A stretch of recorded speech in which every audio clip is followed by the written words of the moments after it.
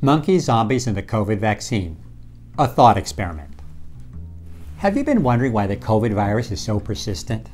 How it seems to have spread so successfully to every corner of the planet?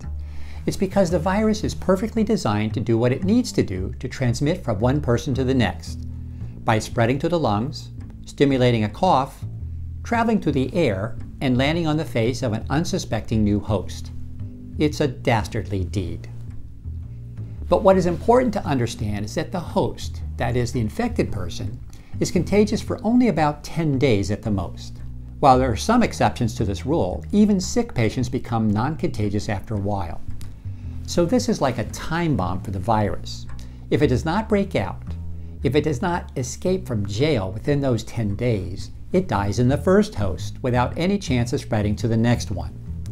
Thus, during this 10 day period, the virus is desperate to find someone else who is not wearing a mask, who is less than six feet away, and who has not been vaccinated. That is the perfect new host. If that person shows up, the virus will leap directly into their nose or their mouth, make a new home, and go on to live another day.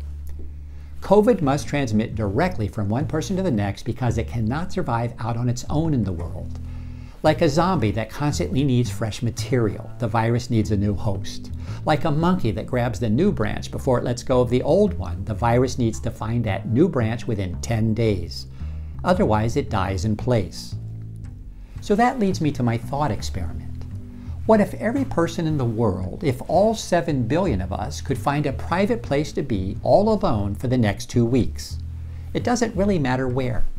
Your bedroom, an abandoned car, an elevator shaft, or an old shoebox. It doesn't really matter where, just so long as you stay by yourself. In other words, in quarantine. If we all did that at the same time, at the end of the two weeks, the pandemic would essentially be over. Because everyone who had the virus would no longer be contagious, and the virus, remember, cannot survive on its own.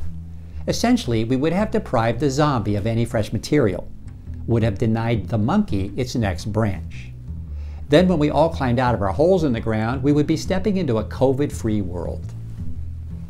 I know what you are thinking. This scenario really isn't even possible. I mean, who wants to live in their bedroom for two weeks? Actually, there are a few holes in this plan, and that's why I call it a thought experiment. You just have to use your imagination. And I am just making a single point. The key is to deny the virus a new host. The virus needs you to get to the next person. And the only way to prevent that is to follow the recipe. Wear a mask, keep your distance, and get the vaccine. Especially the vaccine. It's not exactly the same as living in an elevator shaft, but it's the next best thing. So if we can follow this recipe, it will have the same impact as our thought experiment. The virus will not be able to spread and life can go back to normal. But what if a large chunk of our population decides not to get vaccinated?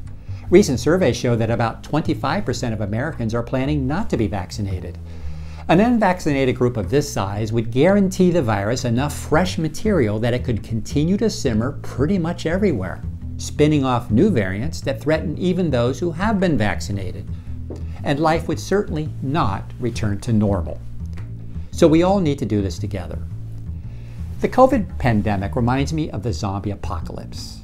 It is an otherworldly invasion that has turned our lives upside down and makes us not sure who we can even trust. But in truth, it is actually a world war. A foreign invader has breached our defenses and is running amok through our communities.